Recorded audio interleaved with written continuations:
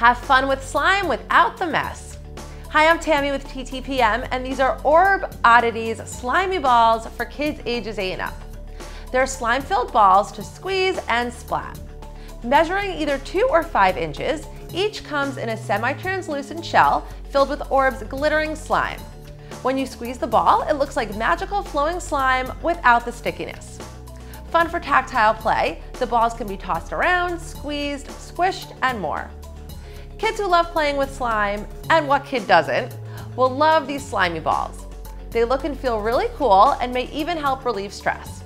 There are two different sizes and a bunch of colors to choose from, and we have a two inch green one and a five inch gold one here today. Each is sold separately and offers simple fun at home or on the go. For where to buy and current prices, find us at TTPM and subscribe to our YouTube channels for more reviews every day.